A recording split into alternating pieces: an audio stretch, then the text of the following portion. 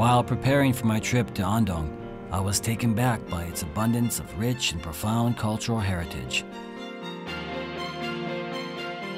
Not knowing much about the significant and beautiful place, I was excited to explore the world heritage of Andong and to connect with its truest cultural elements of Korea.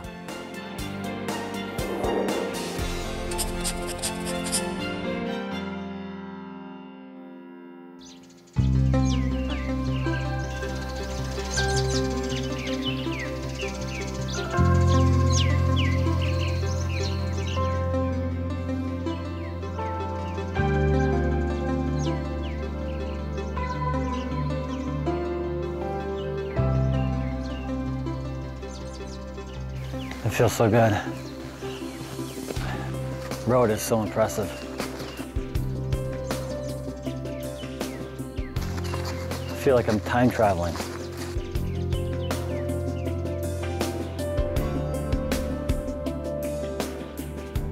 Oh, the silhouette of these houses are amazing. It's like the roofs are picture frames. It says Dosan Seowon Academy. This is the most famous World Heritage Site in Andong.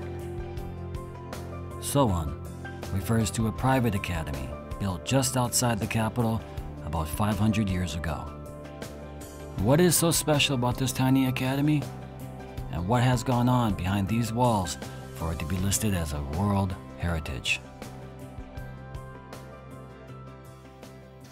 This is spectacular.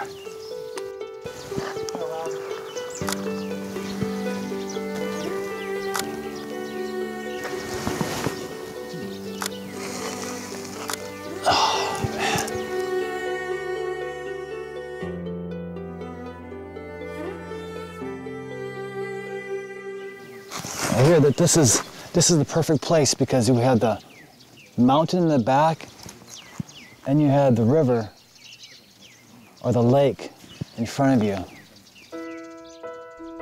The academy was strategically positioned at the base of this majestic mountain where a peaceful river flows beside it. The intention of the Korean Confucius Academy was to make sure structure and nature harmonize as one.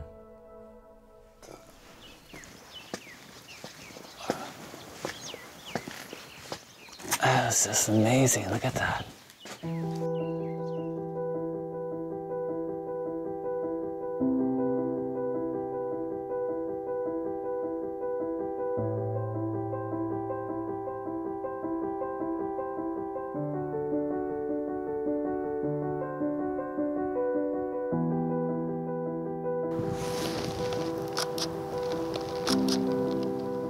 Five hundred years ago, Confucianism was the primary academic studied in Korea.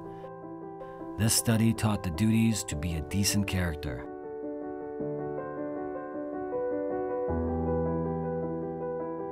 Most of the moral cultures and modern traditions observed by Korean people of the time originated in and grew within Confucianism. Dosan Seowon was an academy of learning Confucianism and the groundwork of this philosophical study. And this place is closely related to Yi Hwang. Uh, this is the thousand won Korean note. And this portrait is of the legendary scholar Yi Hwang.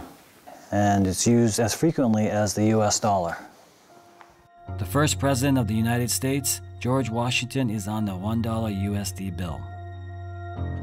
Highly respected person and who had a significant influence on US history. Does this mean scholar Yi Hwang is also regarded in such a high manner?